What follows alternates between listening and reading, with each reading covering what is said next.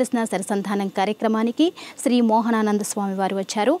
వారిని అడిగి ఎన్నో ఆసక్తికరమైన విషయాలని తెలుసుకుందాం. మహర్షి వారు సంధిస్తున్నటువంటి మరో ప్రశ్న సిద్ధ గురువులు ప్రేమ మార్గాన్ని ప్రతిపాదించడానికి కారణం ఏంటి? వాళ్ళు వాళ్ళు స్వరూపమే ప్రేమ. ప్రేమ లవ్ ఈజ్ గాడ్. ప్రేమ అంటే ఏ ప్రేమ? మాతృ ప్రేమ పితృ ప్రేమ భాతృ ప్రేమ అనేక రకాలైనటువంటి ప్రేమలు ఉన్నాయి ఈ ప్రేమ కలిగి ఉన్నప్పుడు అంతా మనల్ని ప్రేమిస్తారు. ప్రపంచమంతా ప్రేమించాలంటే మన దగ్గర ప్రేమ స్వరూపం కలిగి ఉండాల? కొడుకు ఎంత ఉన్నా కూడా మన పైన ప్రేమే వానికి. వాడిని కొట్టుతున్నాం కానీ మనలో ప్రేమ ఉంది. వాడు మనల్ని కొట్టేకొస్తున్నాడు కానీ మనలో ప్రేమ ఉంది. శత్రుత్వం లేదు మనలో. అమ్మ కాబట్టి ఆ మాదిరిగా పరమాత్మ వేదం ద్వారా మనకు ప్రేమనిచ్చాడు. కాబట్టి ప్రేమ స్వరూపాన్ని మనం బాగా ఆకలింపు చేసుకోవాలి. ఆ దీని వలననే వాళ్ళు ప్రేమ మార్గాన్ని చెప్తారు. నాయనా ప్రేమ ప్రేమను కలిగి ఉండు. అన్ని జీవులపైన అహింసో పరమో ధర్మ ఎందుకు చెప్పారు? నీ మాదిరి ఆ జీవులు కాదా? ఎందుకు దానిలను గిలగిల కొట్టు కొట్టుకొందువే ఉరులు గిచ్చిననైనా ఎవడైనా ఊరు గిచ్చితే నీకు అంత బాధ అవుతుంది? దాన్ని గొంతు పట్టుకొని కోస్తున్నావే? ఈ మాదిరిగా చేస్తున్నానైనా అంటాడు. ఎంత ఇదండి? ఆ ప్రేమ కలిగి ఉండడం కరుణామయుడు అన్నటువంటి బుద్ధుడు కలిగి ఉండాడండి అతడు చూస్తే కరుణామయుడండి అతనికి హింస తెలియదు. పిల్లప్పుడు ఏం చేశాడు? ఒక జింకను చంపేదానికి పోయాడు. వేటా మార్గం పోయాడు రాజకుమారుడు కదా చిన్న పిల్లప్పుడు. అప్పుడు ఆ జింక బుడదలో చిక్కుని ఎక్కడ పోలేక దీనంగా చూస్తుందండి అతని దిక్కురా ఆ బుద్ధుని దిక్కు. ఇతడు ఎల్లు విల్లంబు పట్టుకొని బాణం ఇడుస్తామని రెడీగా ఉన్నాడు చూస్తూ ఉన్నాడు. అప్పుడు ఆ గతిహీన గతి లేదు దానికి. దీన హరినాంగన చూచిన జాలి చూపులో దాగుడు మూతలాడు కరుణామయి గౌతము లేతగుండెకున్ స్వాగతమిచ్చి విన్నపము సల్పెను విశ్వ విషాదగాథ ప్రపంచంలో ఉండే విశ్వ విషాద గాథ అంతా కూడా ఆ ముఖంలో కనపడుతుందంట ఆ జింక ముఖంలో. బాధాగత గద్గదత్వము కథంబున మ్రోగని మూగ గొంతు చెప్పరాకుంది. నాకింత బాధ ఉంది. ఎట్లా నన్ను చంపుతావా? నా బిడ్డలున్నారు వాళ్ళని ఎట్లా పాలి ఇవ్వాలా? అని ఎట్లా చెప్తుందండి? మూగ గొంతుతో ఇది అటువంటి దాన్ని చూసినప్పుడు ఇతరులో దాగుడుబోతలాడుతుంది ముందుకు ఈయనకి దయ ఉంది ప్రేమ ఉంది. ఆ ప్రేమను మళ్ళా రాజు కాబట్టి దాన్ని చంపాలనేటువంటిది ఉంది. ఇది కరుణామయి గౌతములో పుట్టి అతడు మానేశాడు చంపడం. అప్పటి నుంచి అహింసా మార్గాన్ని ఉన్నాడు. ఇంత గొప్పదండి దయ. దయ కలిగిన వానికి శత్రుత్వమే ఉండదు. ఎక్కడ చూసినా మిత్రత్వమే వస్తుంది. కాబట్టి సిద్ధ గురువులు దయను కలిగి ఉంటారు. ప్రపంచంలో ఉండే సర్వజీవరాశి పైన కలిగి ఉంటారు. అహింస పరమమైనటువంటి ధర్మం. ఇంకా ఏమి ఆ ధర్మం? ఉత్కృష్టమైనటువంటి ధర్మం ఏమంటే ఒరులే ఏవి యొనరించిన నరవర అప్రియము తన మనం కగు చూడండి ఇది బాగా. ఎవరైనా ఏమైనా చేస్తే ఓ రాజా చెప్తున్నాడు భారతంలో నిన్ను ఎక్కిరిచ్చినారు తిట్టినారు కొట్టినారు పెట్టినారు ఏమో చేశారు అవమానం చేశారు అన్ని బాధలు కలిగినాయి. బాధే కదా? ఒకడంటే అనవసరంగా అంటే. ఈ బాధ కలిగితే మళ్ళా నువ్వు వేరే వాడిని అన్నా లేక వాడిని అన్నా కూడా మళ్ళా వాడు బాధపడతాడే? కాబట్టి వాడు మళ్ళా బాధపడతాడు కాబట్టి వాడిని ఆ బాధను కలిగించకుండా ఉండాలా? నేను ఒకదా నేను ఒక్కనే పడాలా? అని ఆలోచన చేసుకొని తిరిగి ఆ ఆ యొక్క బాధను వాళ్ళ కలుగజేయకుండా ఉండడమే ఉత్కృష్టమైనటువంటి ధర్మం. ఇది రత్నం ముత్యం లాంటి పద్యం. ఒరులేజవి యొనరించిన నరవర అప్రియము తన మనంబునకగు తా నొరుల కవి సేయకునికిని పరాయణము పరమధర్మ పథములకెల్లన్ పరమమైనటువంటి ధర్మ మార్గాల్లోకెల్లా ఉత్తమమైన ధర్మం ఏమిటంటే ఇదేనండి ఈ మాదిరి ద్రౌపది చేసింది. అశ్వత్థామ వచ్చి ఐదు మంది కొడుకలను చంపితే అర్జున్ తీసుకొని పట్టుకొని వస్తే ఆమె నమస్కారం పెట్టి నాయనా మీ అమ్మ కూడా బాధపడుతుంది. నాకు మళ్ళా భర్తలు ఉన్నారు. నాకు మళ్ళా కొడుకులు పుట్టొచ్చు. నా కొడుకులు చనిపోతే నేను ఎంత ఏడుస్తున్నాను ఇప్పుడు నాకు తెలుసు. మీ అమ్మ ఇప్పుడు ఒక్కనివే కొడుకు. అది మీ నాయన లేడు చనిపోయినాడు. అశ్వత్థామ అత కుంజర అంటే చనిపోయినాడు. మళ్ళా పుట్టేదానికి అవకాశం లేదు. ఇప్పుడు నిన్ను చంపితే మీ అమ్మ నాకంటే బాధ ఎక్కువ పడుతుంది కాబట్టి నిన్ను చంపకూడదు ఇడ్చిపెట్టండి అంటుంది. ఇదండి పరమధర్మం. ఇది భాగవతంలో చెప్తారు. అయితే ఈ ప్రేమతత్వము అనేది. ప్రతిపాదించడానికి మోక్షానికి చేరుకోవడానికి ఒక సన్మార్గము గొప్ప మార్గము అని వారి అభిప్రాయం. ప్రేమ అనేటువంటిది చాలా ఉత్తమోత్తమైనటువంటి మార్గం. అహింసే. అహింస ప్రేమ. కాబట్టి ప్రేమతత్వం చాలా గొప్పది. మహర్షి వారు సంధిస్తున్నటువంటి మరో ప్రశ్న వేదాన్ని ప్రమాణంగా తీసుకోకుండా తారుమారు చేసిన పండితులు రచించిన గ్రంథాలు ఆదిశంకరులు రామానుజాచార్యులు మధ్వాచార్యులు ఎందుకు ప్రమాణంగా తీసుకున్నారు? వేద విరుద్ధమైన ఆదేశాలను ఎందుకు చేశారు? అంటే వాళ్ళు అదే బ్రాహ్మణాలు తర్వాత అరణ్యకాలు తీసుకొని రాసినారు మనకు తెలియదు కదా. వాళ్ళు ఏం వేదమే తీసుకున్నారో ఎందుకు వేదం తీసుకోలేదో మనకి అర్థం కావడం లే వాళ్ళు ఎందుకు వేరేటివి తీసుకున్నారంటే వాళ్ళలో నిజమైనటువంటి వాళ్ళు పరమాత్మ తత్వం కలిగిన వాళ్ళు కాదు వేదాన్ని చక్కగా ఆచరించిన వారు కాదు. పీఠాలు స్థాపించడం శిష్యులను ఏర్పాటు చేసుకోవడం మాకు ఇది కావాలా మాది మాత్రమే పెరగాల ఇతరులది పెరగకూడదని చెప్పడం ఈ మాదిరిగా మనకు తెలుస్తూ ఉంది. ఇప్పుడు నాలుగు పీఠాలు పెట్టారు ఆదిశంకరాచార్యులు. రామానుజాచార్యులు కొన్ని చోట్ల ప్రతిష్టాపన చేసి వెంకటేశ్వర స్వామి ఇదంతా కూడా చేశారు. మధ్వాచార్యులు మధ్వుని యొక్క సాంప్రదాయాన్ని అంతా కూడా పెంచుకొని పోయారు. ఇట్లా సాంప్రదాయాలు పెంచుకోవడం చేసేటువంటి వాళ్ళు చేసే పనే ఇదండి. వాళ్ళది పెంచుకోవాలి కాబట్టి వేదాన్ని అనుసరించరు వాళ్ళు. కాబట్టి వేరే దాన్ని అనుసరి ఎట తిరిగి మా దానికే రావాలా ప్రజలంతమంది కూడా? మా దాన్నే అనుసరించాలా? మేము చెప్పిందే కరెక్ట్ అని చెప్పాలని ఒక్కొక్కడు ఒక్కొక్క విధంగా భగవద్గీతకు రాయడం ప్రస్థానత్రయమని వేదాంత దర్శనానికి రాయడం తర్వాత ఉపనిషత్తులకు రాసుకోవడం ఏమి కథో ఏమి జ్ఞానమో ఏమో కానీ వాళ్ళకే తెలియాలా? అదే దయానంద మహర్షి చెప్పాడు వేదంలో ఎట్లా ఉంటే అట్లే ఉండాలా? ఈ మూడు తప్పని చెప్పేశాడు. ఈ మూడు లేనే లేవు తప్పు అసలు వీళ్ళవి. కాబట్టి ఉన్నది వేదము.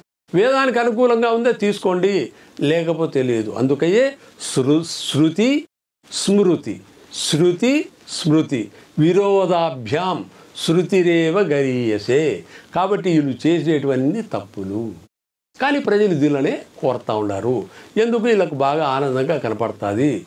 విగ్రహాలు కనపడతాయి బొమ్మలు కనపడతాయి వాళ్ళ బొమ్మలు కనపడతాయి. కానీ కొన్ని మంచి ఉన్నాయి. ఆ మంచివన్నీ కూడా మనం తీసుకోవాలా? సామాన్యులకి ఒక పీఠాధిపతులు లేదా గొప్ప గొప్ప వ్యక్తులు ఏదైనా చెప్తున్నప్పుడు వారు చెప్పేది ప్రతిదీ నిజము అని భావించేటటువంటి. పరిస్థితి. అలాంటి వ్యక్తుల్ని ఆరాధిస్తూ వచ్చారు వారు చెప్పింది నిజము అని వాళ్ళని అనుసరిస్తూ ఆరాధిస్తూ వస్తున్నప్పుడు ఎప్పుడైతే వీళ్ళు ఇలాంటి స్వార్థపూరితమైన పనులు చేశారు అని తెలుస్తుందో వారి ఇన్ని సంవత్సరాల పేరు ప్రతిష్ట అన్నీ కూడా అపప్రదకి కారణమవుతాయి కదా. తప్పకుండా కారణం అవుతాయి. ఇన్నాళ్ళు వచ్చినటువంటి వాళ్ళది అంత పెరిగిన పొద్దు ఇప్పుడే. ఈ పొద్దు తెలుసుకున్న తర్వాత ఓ యాభై సంవత్సరాలు కానీ వాళ్ళకి తగ్గదు. ఎందుకు? ప్రజలంతా ఇంట అంటారు వాడిని అరుస్తారు వాడిని తగ్గిస్తారు చెప్పేవాడిని అన్నీ చేస్తారు. కానీ వాడు ధైర్యంగా నిలబడి చెప్పేటువంటి వాడు చేస్తా వస్తే తప్పకుండా ఏటికి ఎదురెదిరినట్లు అందరూ కొట్టుకొని పోతున్నామండి పాపం చేసిన వాళ్ళమంతా మనమంతా కూడా. అరే నువ్వు మంచివానివిరా నువ్వు నిలబడరా నాయనా మంచి మార్గానికి రా అంటే అందరితో పాటు పోతా అంటే ఏమన్నారు ఓ చోట పిచ్చోళ్ళు వెయ్యి మంది ఉన్నారని. వాళ్ళలో ఒకడు పోయినాడు మంచోడు. అరే మీరంతా ఏదైనా పిచ్చి పిచ్చిగా ఉన్నారంటే ఈయన్ని గేలు పెట్టించినారు. ఆట ఆడిచ్చినారు. వీడు దిక్కుదెల్లే. ఆరే కనుక్కున్నాడు వీడు. ఇంతమంది పిచ్చోళ్ళలో నేను మంచివాడిని అని తెలిస్తే నన్ను ఉన్నని రైలు అని చెప్పి వాడు పిక్చర్ బాగా ఎగిరినాడు ఎగిరి నిదానంగా పక్కకు వచ్చినాడు పిచ్చోళ్ళ తప్పించుకొని. లేకపోతే తప్పించుకొని రాలేడు.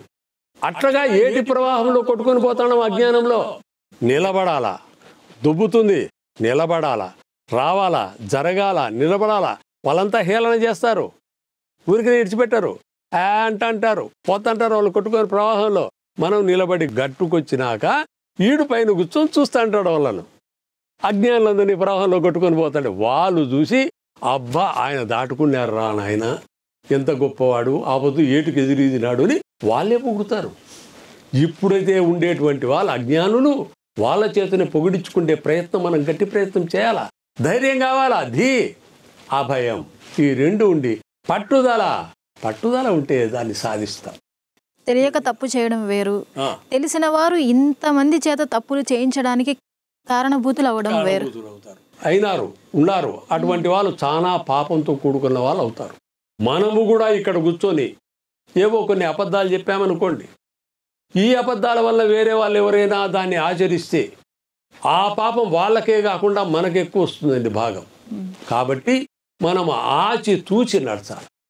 ఏదైనా కూడా వేదం ప్రమాణంగా పెట్టుకొని వేదంలో ఉంది ఇది అని చెప్పితే పర్వాలేదు. వేదంలో ఉండాలా? మళ్ళీ వేదంలో ఉంది అని చెప్పడం కాదు. సత్యమే పలకాల. సత్యమేవ జయతి. కాబట్టి అబద్ధం ఎప్పటికీ జయించదు. సత్యమేవ జయితే. ఆ అబద్ధము జయించదు. అసత్యం ఎప్పటికీ జయించదు. ఇప్పుడు జయించకపోయినా నిదానంగా అయినా కూడా సత్యము జయిస్తుంది. సుఖకారకమవుతుంది ఆనందానికి కూడా కారకమవుతుంది. గురువుగారు మహర్షి వారు సంధిస్తున్నటువంటి మరో ప్రశ్న. పరమేశ్వరుడు ఋగ్వేదాన్ని అగ్నిదేవునికి సామవేదాన్ని వాయుదేవునికి యజుర్వేదాన్ని ఆదిత్యునికి అధర్వణ వేదాన్ని అంగీరస మహర్షికి వేరువేరుగానే ఉపదేశించాడు. ఇది సత్యమా అసత్యమా? సత్యం. అగ్ని ఋగ్వేదో అగ్ని వాయో యజుర్వేద తర్వాత ఆదిత్యో సామవేద ఆంగిరసో అధర్వణ వేద అని వేదంలోనే ఉంది. ఇంకా యజుర్వేదంలో కూడా ఉంది. తస్మాత్ యజ్ఞా సర్వత రుచ సామాని జజ్జిరే చందాంసి జజ్జిరే తస్మాత్ యజుస్ తస్మాత్ అజాయత అంటే నాలుగు వేదాలు నలగరికి ఋషులకు పరమాత్ముడు సమాహిత చిత్తంలో ఉన్నటువంటి వాళ్ళకి అర్థసహితంగా అందించాడు అని. కాబట్టి ఈ వేదాలు ఋషులకు అందించాడు అనేది సత్యము అబద్ధము కాదు. నలగరు ఋషులకు పరమాత్ముడు అగ్ని దేవునికి అంటే అగ్ని ఋషి. అగ్ని కాదు మనం అనుకునేటువంటి అగ్ని కాదు. అట్లే వాయుదేవుడు అట్లనే ఆదిత్యుడు అంటాం సూర్యుడు అంటాం ఆదిత్యుడు అంటాం. ఈశ్వరుడా కాదు. ఈశ్వరుడు ఇప్పుడు పోతాడు ప్రళయంలో పోతాడు మళ్ళీ ఇంకో సూర్యుడు వస్తాడు. కానీ ఆ సూర్యుడు కాదు. పరమేశ్వరుని దగ్గర ఉండే అగ్ని ఆ సూర్యుడు. ఆ సృష్టిస్తానే ఉంటాడు కానీ సూర్యుడు అన్ని అన్నిటికీ వేత్త అంటాం తెలిసినవాడు. సృష్టి క- మనకందరికి కూడా జ్ఞానాన్ని ఇస్తున్నాడు అని. కానీ ఆ ఋషులు వాళ్ళు మనుషులు అన్నమాట వాళ్ళు అగ్నిదేవుడికి ఆదిత్యునికి వాయువుకు ఆంగిరస మహారుషికి అధర్వణ వేదాన్ని ప్రదానం చేశాడు. వాళ్ళ ద్వారానే బ్రహ్మ వల్ల నాలుగు వేదాలు నేర్చుకున్నాడు. ఆ నాలుగు వేదాలు బ్రహ్మ ద్వారా ఇతర మహారుషులకు అందరికీ కూడా అందింపబడ్డాయి. అర్థసహితంగా అందింపబడ్డాయి. వాళ్ళంతా కూడా నేర్చుకొని దాని తర్వాత వ్యాఖ్యానాలు తర్వాత శాఖలు తర్వాత కొమ్మలు తర్వాత చిగుర్లు అనేక రకాలు కాండాలు బాండాలు అన్నీ వస్తా వస్తా వస్తా బ్రాహ్మణాలు వచ్చాయి అరణ్యకాలు వచ్చాయి మళ్ళీ ఉపనిషత్తులు వచ్చాయి. ఉపనిషత్తులు వెయ్యి అంటారు. అల్లోపనిషత్తు అంట అది ఎక్కడి నుంచి ఒక్కొక్క రకమైనడు ఒక్కొక్క ఉపనిషత్తు అలా పెట్టడం దాంట్లో గలపడం చెప్పడం. వీళ్ళంతా నమ్మడం మోసపోవడం ఒకరు ఒకరిని అంతా మోసపోవడం. అంత అజ్ఞానులు అయిపోతూనే ఉంటారండి. జ్ఞానం ఆలోచన చేసేదే లేదు. ఎన్ని ఉన్నాయో నూట ఎనిమిది అంటారు వెయ్యి అంటారు ఉపనిషత్తులు వెయ్యి అంటారు. ఏం చేయాలో తెలీదు. ఉన్నాయో లేదో మనకు తెలీదు. కాబట్టి నూట ఎనిమిది ఒప్పుకున్నారు. మరో ప్రశ్న అండి. వేదాలు ఏకరాశిగా ఏ విధంగా కలిసినవి ఎప్పుడు కలిసినవి ఎవరు కలిపారు ఏ కాలంలో కలిపారు? ఒకవేళ కలిపితే కారణం ఏంటి? వీటికి ప్రమాణం ఏంటి? వేదాలు ఏకరాశిగా అంటే నాలుగు వేదాలు ఒకటే వేదమే. కలపడంలే పెట్టడంలే. నాలుగు వేదాలు మొట్టమొదట పరమాత్ముడు నలుగురు ఋషులకు ఇచ్చాడు. దాన్ని అందరూ మళ్ళా చెప్పినప్పుడు బ్రహ్మ నేర్చుకున్నాడు. బ్రహ్మే కర్త అంటున్నారు ఇప్పుడు. చెప్పిండేవాడు పరమాత్మ కర్త అయితే ఇచ్చినటువంటి వాళ్ళకి ఋషులకు ఇస్తే నలుగురికి ఆ నరు నలుగురి ఋషుల ద్వారా నేర్చుకున్నటువంటి బ్రహ్మ వేద వేదాంగ వేత్త చాలా ముసలివాడు బృహత్తరమైనటువంటి పాతవాడు అని పేరు. కాబట్టి బ్రహ్మే వేదాలకంతా కర్త అంటున్నారు. కాబట్టి నాలుగు వేదాలు అక్కడ ఒక్క దగ్గరనే ఉన్నాయి. ఒక్కడే ఇచ్చాడు ఋషులకు. అందుకే అంతా ఏమనుకుంటున్నారు? నాలుగు వేదాలు కలిపారు అనుకుంటున్నారు. కానీ నాలుగు వేదాలు మొదటే విడివిడిగా చెప్పబడ్డాయి. ఒక్కొక్కటి జ్ఞానకాండ ఋగ్వేదము. యజుర్వేదము కర్మకాండ. అంటే కర్మాన్ని చెప్తుంది. ఇక్కడంతా జ్ఞానాన్ని గురించి చెప్తుంది. ఆ యజుర్వేదంలో మంత్రాలు సామవేదంలో కూడా ఉన్నాయి. తర్వాత ఉండేది కళలు జ్ఞానము తర్వాత మోక్షానికి పోయేటువంటి ప్రాప్తి అనేకమైన విద్యలు లలిత కళలు అనేకమైనటువంటి సామవేదంలో కూడా ఉన్నాయి. కాబట్టి సామవేదం అంతా కూడా మోక్షానికి దానికి ప్రాప్తికి వస్తుంది. అధర్వ వేదము అనేటువంటి ఈ మూడు వేదాల్లో ఉండేటువంటి ఏమైనా అనుమానాలు ఏ సంశయాలు ఏమైనా ఉంటే అవన్నీ కూడా తీర్చబడ్డాయి అని చెప్తున్నారు అధర్వ వేదంలో కాబట్టి ఈ నాలుగు వేదాలు ఒకటే వేదమే అంటాం. నాలుగు వేదాలు భాగాలు కాదు. ఈ భాగాలు కలపడం కాదు. ఇవన్నీ నాలుగు వేదాలు నాలుగు ఋషుల చేత చెప్పబడ్డాయి. దాన్ని బ్రహ్మ నేర్చుకున్నాడు కాబట్టి అక్కడ కలిసినాయి మళ్ళీ విడివన్నాయేమో అని అనుకుంటున్నారే కానీ నాలుగు వేదాలు వేదమే. దానికి కర్త కూడా బ్రహ్మ దగ్గర ఉన్నాయి ఇవి అన్నీ కూడా. కానీ పరమేశ్వరుని దగ్గర ఉన్నాయి ఋషుల ద్వారా వచ్చాయి. అయితే వేదవ్యాసుడు విభజించారు. వేదాన్ని విభజించింది వేదవ్యాసుడు అని ఇప్పుడు ప్రచారంలో బాగా ఉంది కదా. అంటున్నారు. ఎందుకు అంటే ఈ వేదవ్యాసుడు వరుసగా వాళ్ళ యొక్క పరంపర వచ్చింది కదా బ్రహ్మ నుంచి. వచ్చినటువంటి వేదాలను బాగా చదువుకున్నాడు బాగా నేర్చుకున్నాడు. వాళ్ళ నాయన కూడా పరాశర మహర్షి కాబట్టి అవన్నింటి కూడా మళ్ళీ బాగా చెప్తూ వచ్చాడు. అంతమంది ఏమనుకున్నారు? ఇప్పుడు ఈయనే వేదాలను విభాగం చేశాడు అని. ఎప్పుడో విభాగమైనటువంటి వేదాలను ఈ వేదవ్యాసుడు ద్వాపర యుగంలో ఈయన విభాగాలు చేసేదేముంది? కాబట్టి ఎప్పుడో విభాగాలు అప్పుడే చేసి ఉన్నాయి కానీ ఇట నేర్చుకొని ఈయన ద్వారా కూడా ఎక్కువ ప్రచారం అయింది ద్వాపర యుగంలో కాబట్టి అందులో కృష్ణుడు ఉన్నప్పుడు కూడా వేదవ్యాసుడు ఉన్నాడు కాబట్టి ఈయనే చేశాడు అని చెప్పి కొందరు ఎవరో కొంతమంది పేర్లు ఆపాదిస్తే అందరూ అది ఆపాదించారు ఎవడు ఏమి చెప్తే అది ఇవ్వడమే. ఏదో బెల్లం అమ్ముతాడు ఒక ఆయన. ఆ అప్ప పేరు పుల్లయ్య. యా పుల్లయ్య అన్నారు. పుల్లయ్య అంటే బెల్లం పుల్లయ్య అన్నారు. లేదా చింతపండు పుల్లయ్య అని. ఇంకా చింతపండు పుల్లయ్య అయిపోయింది. పుల్లయ్య అంటే నమ్మరు. చింతపండు అమ్మే పుల్లయ్య అంటే వాడే అంటే వేరే వాడు అమ్ముతాడు వాడిని నమ్మరు. ఆ మాదిరిగా వేదవ్యాసుడు ఎవడో ఒకడు చెప్పాడు. వేదాలు చెప్పాడు అని. ఉత్తవ్యాసుడు ఎందుకన్నా నాలుగు వేదాలు వస్తాయి. అగా వేదవ్యాసుడు అయ్యా అన్నాడు. ఎవడో ఒకడు అన్నాడు ఇంకా దాని పరంపర అయిపోయింది. లౌకికం అంటే ఇదంతా. ఏ చేస్తా అంటే అది. ఏమి ఏ బాపనయ్య అంటే పిల్జుడు బాబనే. ఆ ఊర్లో పిల్జుడు పెట్టుకోవడం ఒకటే బాపనయ్య అన్ని ఇట్ల పేర్లు వచ్చినాయి. అన్నీ ఇంతండి బియ్యం బియ్యం వ్యాపారం చేసేవాడిని బియ్యం రామయ్య చింతపండు పుల్లయ్య. అన్నీ ఇట్లా వచ్చినాయండి. అంతేగాని వేదవ్యాసుడు వేదాలు ఆయన విభాగించలేదు. ఎప్పుడో విభాగమై ఉన్నాయి. వేదంలోనే ఉంది. అంటే విభాగమై ఉన్న వాటిని అసలు కలపను లేదు దాన్ని విడదీయను లేదు. అది బ్రహ్మ దగ్గర నేర్చుకున్నాడు బ్రహ్మ. ఆయన కలపలే. ఆయన విడివిడిగా అని చెప్పాడు. అంతా అట్లే వచ్చాయి కానీ ఈ మాదిరిగా మనకు వస్తున్నాయి అంటే ఇదంతా ఒకడొక్కడు కల్పన చేయడమే. కాబట్టి నిజం తెలుసుకోవాలంటే ప్రత్యక్షంగా చూడాలి. మళ్ళీ ఎక్కడ తెలుస్తుంది అది? కాబట్టి ఈ మాదిరిగా ఉంటాయి. మహర్షి వారు సంధిస్తున్నటువంటి ప్రశ్న సనాతన మహర్షులు కఠోర తపస్సుతో వేద మంత్రములనే జ్ఞాన ప్రసాదాన్ని కృపతో లోకానికి అందిస్తే ఈ జ్ఞాన ప్రసాదాన్ని సిద్ధత్వము పూర్ణత్వము లేని పండితులు ఆచార్యులు తమ చాదస్తంతో మిడిమిడి జ్ఞానంతో విషమయము కలుషితం చేశారు. దీన్ని మీరు అంగీకరిస్తారా? అంగీకరించారు. కరెక్ట్ అమ్మా. ఇదంతా కూడా వాళ్ళు కలుషితం చేశారు. సనాతనమైనటువంటి ధర్మము అంటే దాన్ని అధునాతంగా తీసుకుంటున్నారు సనాతనం అంటే అనా ఎప్పటి నుంచో ఉండేటువంటి దాన్ని. ఇప్పుడుండే మహర్షులు కఠోర తపస్సుతో వేద మంత్రాలతో జ్ఞాన ప్రసాదాన్ని కృపతో లోకానికి అందిస్తే ఈ జ్ఞాన ప్రసాదాన్ని సిద్ధత్వం పూర్ణత్వం లేని వాళ్ళు ఏం చేస్తున్నారు చాదస్తంతో వాళ్ళకుండే మిడిమిడి జ్ఞానంతో పోల్చుకుంటున్నారు కాబట్టి కలుషితం చేస్తున్నారు. దీన్ని మేము అంగీకరించము. వీళ్ళు కలుషితం చేస్తున్నారని అంగీకరిస్తాం. ఎట్లుంటే పూర్వం ఉండేటువంటి మాదిరిగా లేదు. కాలం కూడా మారింది. కాబట్టి మార్పు కలుగుతుంది. మహర్షి వారు సంధిస్తున్నటువంటి మరో ప్రశ్న సిద్ధ గురువులంతా నిరాకారుడైన పరమశివుడే దేవదేవుడు పరాత్పర దైవమని ముక్త కంఠంతో లోకానికి తెలిపారు. సిద్ధ గురువుల సందేశంతో మీరు ఏకీభవిస్తారా? ఏకీభవించారు తప్పకుండా ఏకీభవిస్తాం. సిద్ధగురువుల యొక్క మాటతో మేము ఏకీభవిస్తాం. ఎందుకంటే ఇదంతా కూడా నిరాకారుడైనటువంటి పరమశివుడే అందరూ కొలుస్తున్నారు. సిద్ధగురువులు కానీ అంతమంది కూడా మనం కొలవాల్సింది కూడా అదే. అదే సత్యం అదే ధర్మం. కాబట్టి మనము దాంతో మేము ఏకీభవిస్తున్నాము. రమణానంద మహర్షి చెప్పేటువంటి వాటిని మేము ఏకీభవిస్తున్నాము. ఆయన మాట ప్రకారమే మేము కూడా ఒప్పుకుంటున్నాము. మేము కూడా ప్రయత్నం చేస్తాం.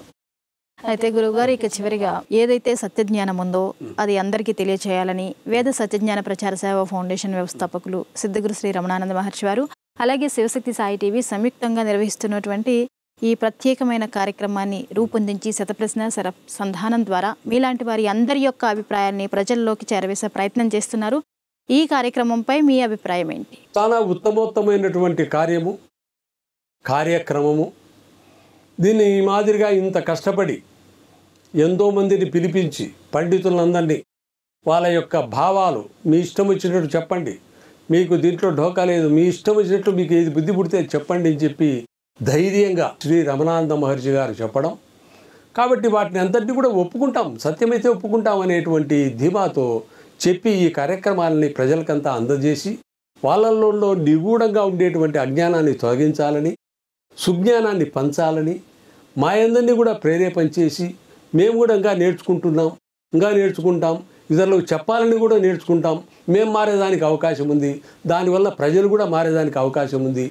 ఇంతటి మహత్తర బృహత్తరమైనటువంటి కార్యాన్ని శ్రీ రమణానంద మహర్షి గారు ప్రవేశపెడుతూ మాకందరికి కూడా ఈ మాదిరిగా అవకాశం ఇచ్చి మాతో కూడా చెప్పించి ప్రజలంతా సమాజం అంతా బాగుపడాల? మన దేశం ఆంధ్రదేశమే కాదు తెలంగాణ కాదు. మొత్తం ప్రపంచమంతా కూడా మన భారతదేశం అంతా కూడా బాగుపడాలనేటువంటి సదుద్దేశంతో చేస్తున్నారు కాబట్టి ఎంతో అభిలషణీయమైంది. దీన్ని బాగా ఆ- ఆనందపడి మనం చెప్పుకోవాల్సినటువంటి కార్యము చాలా గొప్ప కార్యము రమణానంద మహర్షి గారు చాలా బాగా చేస్తున్నారని మేము వేణోళ్ళ పొగుడుతున్నాం. గురువు గారు ఈ కార్యక్రమం ద్వారా ఎన్నో ఆసక్తికరమైన విషయాల్ని తెలియజేస్తున్నందుకు ధన్యవాదాలు. నమస్కారం అమ్మా. నమస్కారం. చూశారు కదండి గురువు గారి యొక్క మాటల్లో ఎన్నో ఆసక్తికరమైన విషయాలను తెలుసుకున్నారు కదా. వేద సత్యజ్ఞాన ప్రచార సేవ ఫౌండేషన్ వ్యవస్థాపకులు సిద్ధగురు శ్రీ రమణానంద మహర్షి వారు శివశక్తి సాయి టీవీ సంయుక్తంగా నిర్వహిస్తున్నటువంటి ఈ శతప్రశ్న సరసంధానం ద్వారా ప్రజలకు ఎన్నో ఆధ్యాత్మికపరమైన విషయాలతో పాటు వేదపరమైన విషయాల్ని తెలియజేసే ప్రయత్నంలో భాగంగానే ఈ కార్యక్రమం కొనసాగుతోంది. మరో ఎపిసోడ్లో మళ్ళీ కలుసుకుందాం. అంతవరకు సెలవు. నమస్కారం. ఈ శతప్రశ్న సరసంధానం కార్యక్రమం ద్వారా ఏది సత్యమో ఏది అసత్యమో ఏది అనుసరించాలో ఏది అనుసరించకూడదో వేదాలకి పురాణాలకి ఉన్నటువంటి తేడా ఏమిటో తెలుసుకుంటున్నాం. ఈ శతప్రశ్న సరసంధానం ద్వారా మరిన్ని ఆసక్తికరమైన విషయాల్ని మరో ఎపిసోడ్లో తెలుసుకుందాం. అంతవరకు సెలవు. నమస్కారం.